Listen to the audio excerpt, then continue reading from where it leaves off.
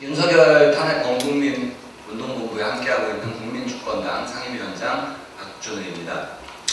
그 국민주권당은 12월 16일 날 창단을 했습니다. 당원들의 투표로 총의를 모아서 윤석열 탄핵을 제1의 총력 과제로 결정을 했습니다. 어, 지금 민심은 윤석열 정권을 빨리 끝내자는 것 이것이 확고하고요. 저변이 넓어지고 있습니다. 이제 정치권이 윤석열 탄핵에 기치를 들 때가 됐다고 생각합니다. 그리고 새로운 희망을 제시해야 됩니다. 우리 국민주권당 윤석열 탄핵 그 선봉에서 앞장서 나가겠습니다. 기자회견문 발표하겠습니다.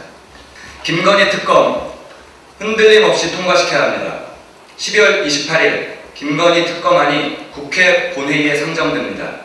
촛불 국민들이 대선 이전부터 주가 조작, 경력 조작의 범죄를 저지른 김건희를 수사하고 처벌하라고 요구해왔으나 검경은 어떤 수사도 진행하지 않았습니다. 촛불 국민들은 대선 이후 검경의 수사를 더더욱 기대할 수 없다고 판단하고 김건희 특검을 요구하며 1년을 넘게 촛불을 들었습니다. 촛불 국민들의 헌신적인 노력으로 김건희 특검은 국회 표결을 앞두게 되었고 특검 찬성 여론도 이미 70%를 넘었습니다. 그럼에도 불구하고 한동훈은 김건희 특검을 총선용 선전선동이자 악법이라 주장하고 있으며 이에 발맞추어 보수 언론들은 일제히 후 특검론을 유포하고 있습니다. 이러한 행보들은 모두 김건희 특검법을 누더기로 만들려는 기획이며 윤석열 정권의 위기 탈출용이자 김건희 방탄 공작일 뿐입니다. 김건희 특검은 공정과 상식의 문제입니다. 복잡한 계산이 필요한 것이 아닙니다. 대한민국 국민이라면 누구든지 저지른 범죄에 합당한 처벌을 받으면 됩니다.